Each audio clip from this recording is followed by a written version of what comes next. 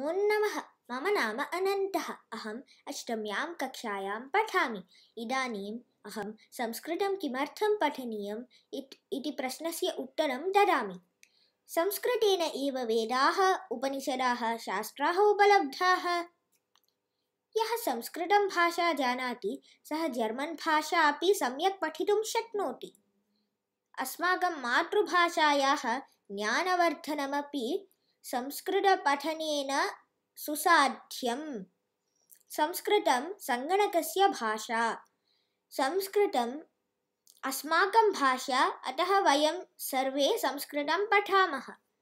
संस्कृतम् अस्माकं बुद्धिं वर्धयति। कतिपयाधिसङ्ख्या संस्कृतेन भारतीयभाषायाम् एव दृष्ट कटपयादिसङ्ख्य संस्कृतेन भारतीयभाषायाम् एव द्रष्टुं शक्यते।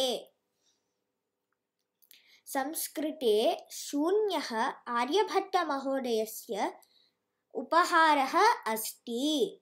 संस्कृतस्तोत्राः अस्माकं गृहे सुहृदवातावरणं ददाति। नमो नमः धन्यवादाः। जयतु संस्कृतं जयतु भारतं। लसतु संस्कृतं चिरं गृहे गृहे च पुनरपि। धन्यवादाः। नमः